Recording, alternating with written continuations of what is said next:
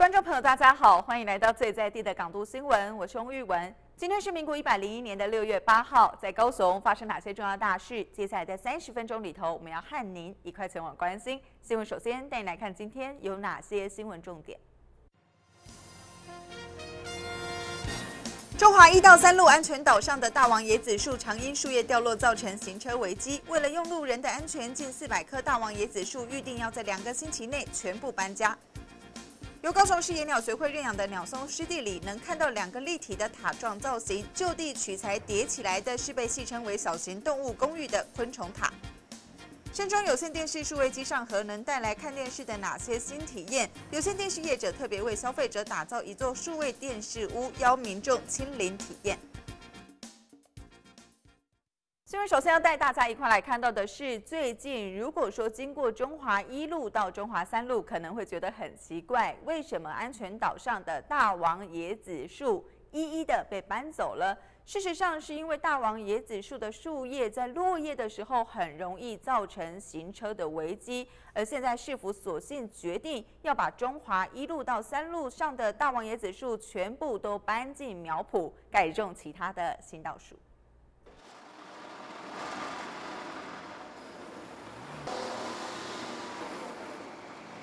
调整好位置，从中华路分隔岛被吊起来的大王椰子树横躺在路面上。为了让少说有二到三层楼高的大王椰子树能顺利搬家，工人拿起电锯稍作修剪。分布在中华一路到三路，共有三百九十九棵大王椰子树，准备用两个礼拜的时间转移阵地，移入养工处的苗圃内，等待更好的运用。需要移树的原因是避免大王椰子树造成的行车安全危机。大王椰子哈，它很笔直，也很高大。那在这个中华路这个路段上哈，过去就是有一段时间也经常掉落叶子了哈。那我们也用很多的方法，比如说摘掉枯叶，或者是用铁丝去绑，但是它都不定期的掉落，哦，有扎到车子的一个情形啦。所以我们预定把这一段的那个大王椰子，把它先搬离。回到那个我们的苗圃去哈。把大王椰子树从中华路分隔岛上移走之后，养公处计划在同一路段种上印度紫檀来取代新的中华大道景观，请高雄市民拭目以待。港都省公园朱雨虹采访报道。接着要带您一块来看到的是，现在在高雄港畔有几栋重要的地标型建筑物，未来要营造成亚洲新湾区。是否决定要来新建水岸轻轨？为了厂商来开说明会，在今天，副市长刘世芳代表市长陈局出席，欢迎业者投资。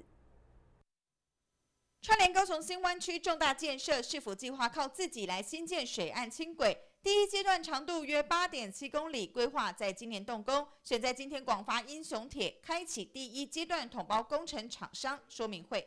那观众，我们这样建构完成。那是从水岸轻轨开始，呃，完到轻轨，我们有很多的站，有三十个站。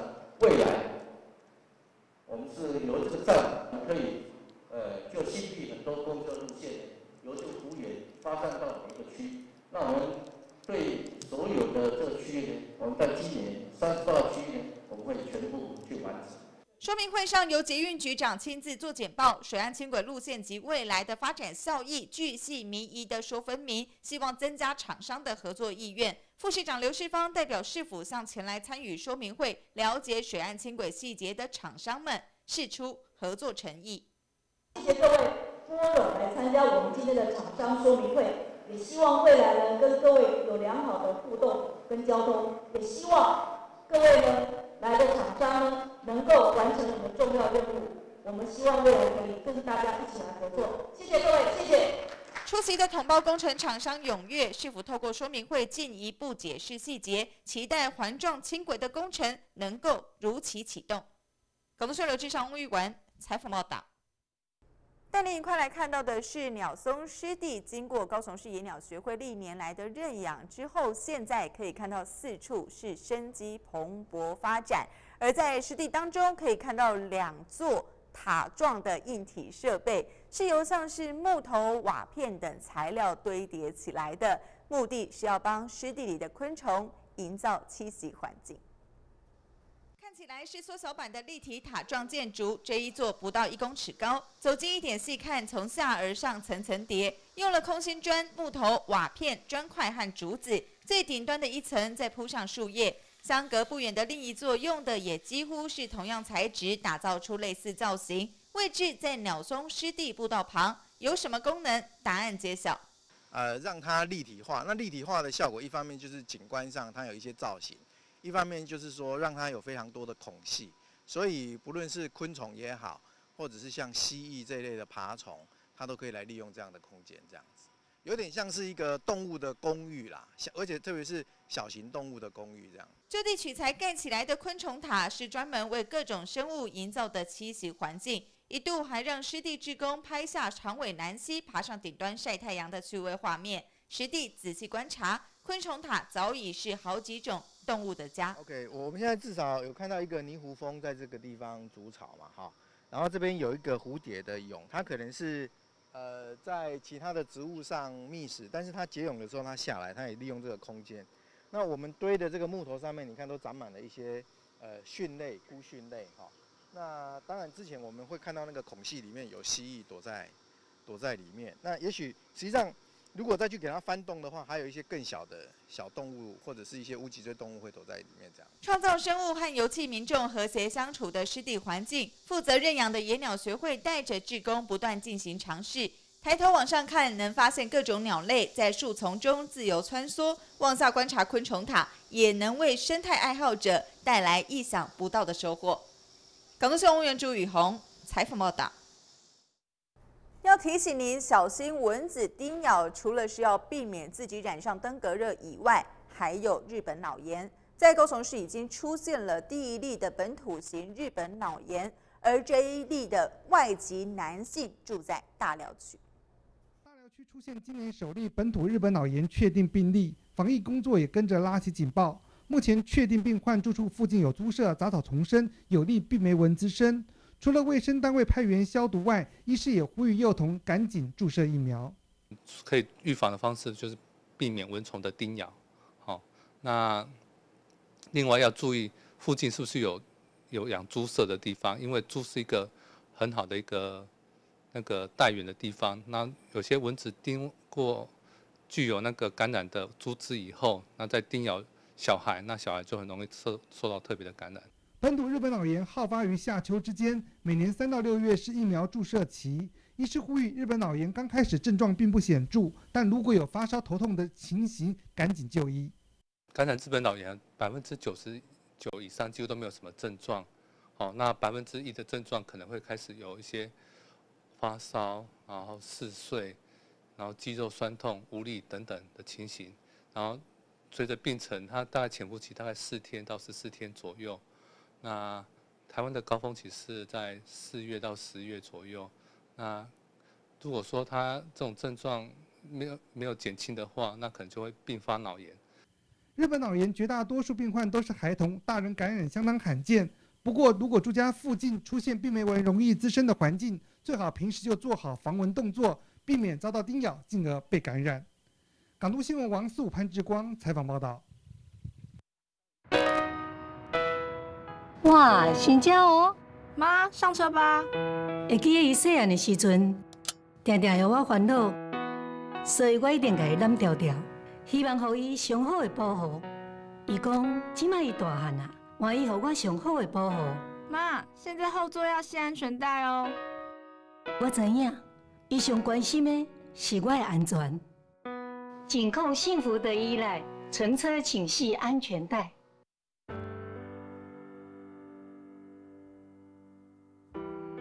人生不尽完美，随时都有可能遇到不如意的事而心情不好。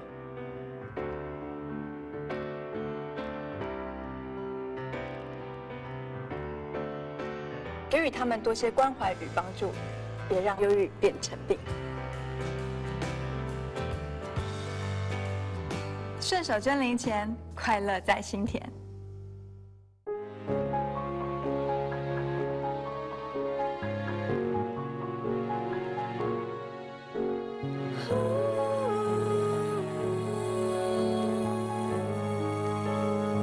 自杀防治需要你我的参与，用心聆听，伸出援手，做好一问、二应、三转介。你我都是自杀防治守门人。零八零零，请帮帮，救救我。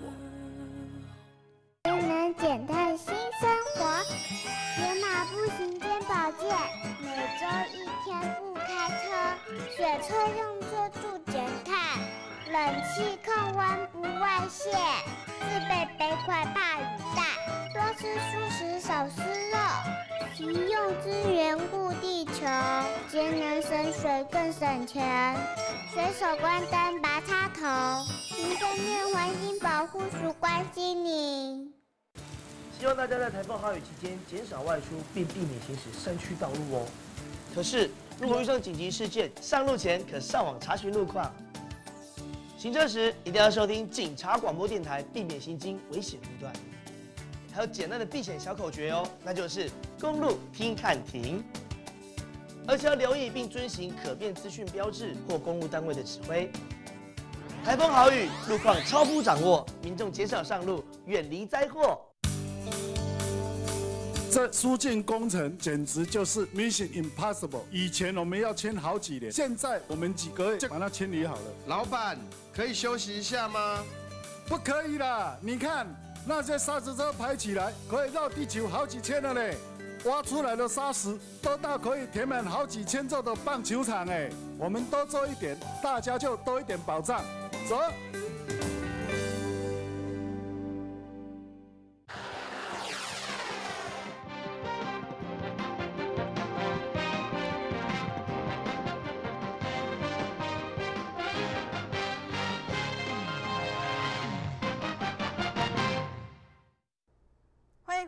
在地的港都新闻，我是翁玉文。在广告回来之后，我们一定要带您来关心的是最新的趋势。有线电视加紧数位化的脚步，现在只要升装数位机上盒，就能够欣赏高画质的画面品质，以及享受到高品质的音响效果。而有线电视业者为了要让民众能够亲自来体验一下，特别打造一座数位电视屋。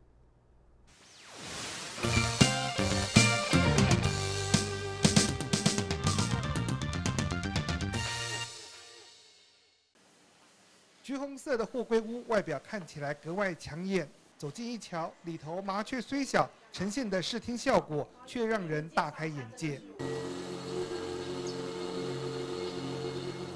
原来这是有线电视业者为了让用户清楚了解到有线电视数位化带来的便利，所自资打造的数位电视体验屋。透过升装数位机上盒，有线电视结合数位服务。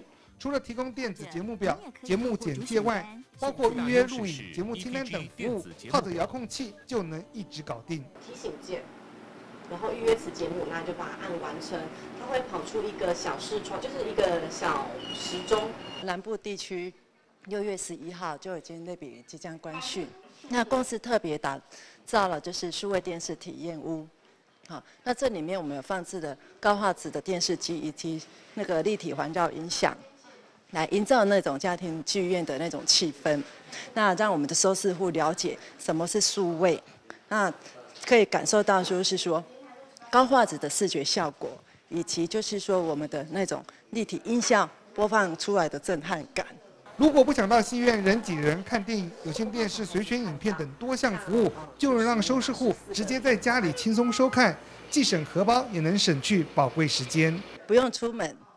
在家就可以随时随点的 VOD，那另外还有就是修个短外包月影片，那这个包月影片的话，我们就是说呃三十支的精选好片，这个都是刚下档的，那平均的话每周换三部，那平均一部不到十块钱，真的很便宜。还有提供给我们那种忙碌的收视户，就是 PVR 的录影功能，那空间有两百五十 G 哦，那你边看边录。有线电视数位化，让收视户看电视不只是看电视，而是多了感官的视觉享受。也难怪数位电视体验屋一推出就夯到不行。港东新闻综合报道。社群网站脸书非常的流行，也让二零一一年的台湾代表字，就是很多人上脸书一定要做的赞。一定要按的赞字。而这个赞呢，也成为南华大学视媒系学生毕业展的创作灵感。带您一块来欣赏。为了吸引更多人的目光，南华大学视媒系毕业成果展要走出校园，移师到高雄展出，并且以时下最流行的社群网站脸书赞为主题。呃，我们去年在讨论我们的立体造型类的作品，然后在 Facebook 上讨论的同时，有时候就是会同学之间产生一些摩擦，哎，这些冲突，大家同学都有些有时候去暗赞，然后这个赞有时候是一个认同，然后有时候是一个情绪性的抒发。那嗯，我们就发现到赞这东西其实蛮适合做我们的一个主题，因为它延展性很。宽很够，意外的小插曲却也意外获得好评，像是这个名为《台湾一零一》的作品，把台湾知名建筑地标和赞结合，表达台湾赞的意境。而这个用纱布包裹还微微渗出血水的赞，是要传递按赞的人未必是喜欢或是认同。学生的创意巧思果然很吸睛，另外水墨的创作也别具特色。哎，这是我们水墨画突破了以往。以往就是以往的光电，我们用油画布做呈现。诶，水水墨画不易在油画布上做渲染，我们一层一层做堆叠，然后为了表现出立体感跟光泽，诶，所以用亚克力颜料跟广告颜料产生了不同的视觉效果。以水墨淡雅色调融入油画堆叠技法，中西合璧，碰出不同凡响的艺术视野。来自南华大学视媒系的毕业成果展，即日起在高雄文化中心至真堂展出。有兴趣民众不妨前往观赏，见证充满年轻思维所迸发出源源不绝的创意活水。广东新闻师孟府龚如瑶采访报道。癌症希望基金会和高雄荣总共同举办了一场彩绘希望画展，在每一幅画作当中呈现的都是癌友们对抗病魔的心路历程，让人看的是又佩服又感动。为了传递希望给抗癌病友，癌症希望基金会和高雄荣民总医院共同举办第四届彩绘希望绘画展。除了在医院大厅展出二十九幅获奖作品外，也请来参与绘画的抗癌画家，分享这一路走来不为人知的心路历程。然后呢，我在那边真是很无聊，觉得自己怎么变成囚犯了，百无聊赖，不晓得要干什么，瞪着天花板。后来我想到，我旅行包里还有一支笔哎。一支画笔，就这么一支铅笔，然后我就拿起铅笔，我就开始画，我就天马行空的画啊，因为我是学艺术的嘛，啊，所以也画得不错，护士小姐看了哈也很称赞，啊，自己越画就越高兴，就越有成就感，就忘记了那个痛苦了。尽管癌症仍然高居十大死亡榜首，不过随着医疗进步，都有克服病魔的机会。但是除了靠药物治疗外，其实心灵疗愈。更是重要。很勇敢呢，我要跟他，我跟他们学习呀。对呀，我有第二次做化疗了。那心灵治疗包括这个绘画啦、音乐等等，但是我们这次展示出来的是二十九幅这个癌症病人在他们治疗过程当中，他们所绘画出来的得奖的展品啊，所以我们这次把它展出来。最主要在鼓励我们其他的癌症病人。抗癌画家严玉琪现场即兴替民众手绘素描画像，画作惟妙惟肖，也展现多年来他干病魔缠斗的成就。好了，送给你，签上大名，大方分享画作。而这看似平常的动作，就如同医师所说，仿佛心灵疗愈般，让癌友越来越坚强。港都新闻吴之宇、朱雨红采访报道。在高雄市的都会区当中，因为人口相当密集，寸土寸金，如果想要拥有一块社区的湿地，真的是不太容易。不过，这样的一个梦想，在林雅区的正义里内实现了。带您走进社区当中，来了解他们是如何进行生态保育工作。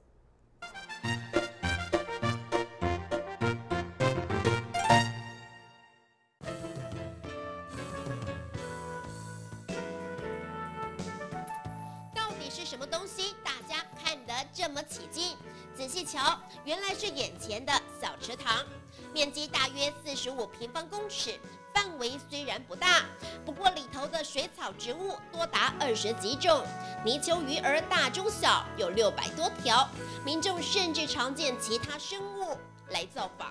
诶，这个白鹭鸶哈，夜光鸟啦，我我这个这个在呃金玻璃啦，我我这个都系什么什么虫啊，毛毛虫啊，我我是种什么？哦，诶，金鱼啦。我们都把它称呼叫做湿地哈，社区的湿地。那我们这个湿地是很标准的这个生态工法，我们这个水池哈是用粘土隔绝这个水，没有没有所谓的 RC，也没有 PC，所以这个是完全是生态。然后上面有放石头，那我们这里有多样性的植物，也有动物，那鱼鱼类有好多种，然后还有白鹭鸶、西伯利亚的候鸟都会会来这里吃我们的鱼。位在林雅二十三号公园内，里长刘银莲两年前向市府争取，用生态工法营造小湿地，成功富裕多样丰富生态，过程考试多磨。养工处啊，他一直坚决不要我们做。他说，这个像这种养鱼池哈，一般来讲都没有保养，而且里里长跟社区哦，通常是连区公所都没有办法去保养。所以我说没有问题啊，因为我们这个地方是一个团队。二三十岁而已，他说，哦，住这个医院哦，住的哈，心情很不足啦，哦，啊，出来这边哦，哦，他们这里的里长整理这个公园好干净哦，又有这个水池，我来看一看哦，我的心情好了啦，很好，我的病哦好了啦，我哦可以回去办出院了啦。啊，来看鱼啊，看这水啊，看鱼啊，鱼那足欢喜啊，啊，阮大人嘛来看，阮啊早早早餐下早时来运动嘛来看，哦，啊下晡。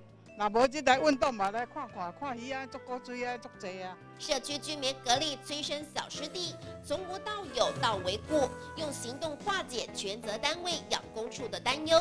小小方寸天地，在都会型社区中，除了让人眼睛一亮，也意外达到疗愈心灵与凝聚社区情感的效果。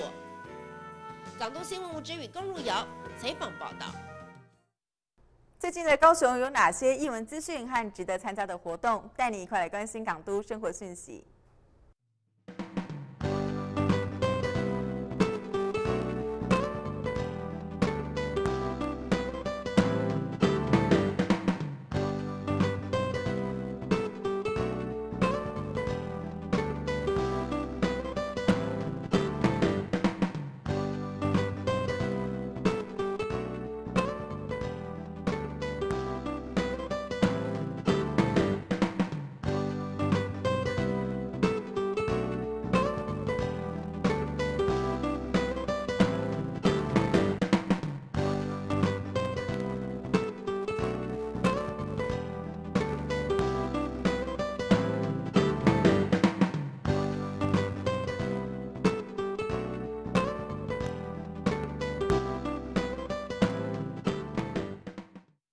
明天在黄历上适合做哪些事情？又有哪些小细节要提醒您特别当心？带你一块来翻开农民历。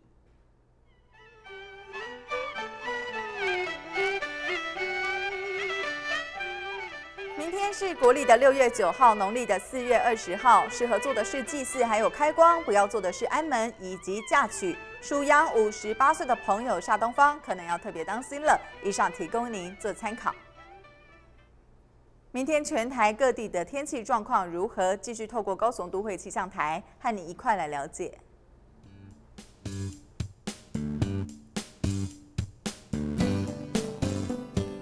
高雄、台南、屏东地区多云短暂阵雨或雷雨，气温二十六到三十三度。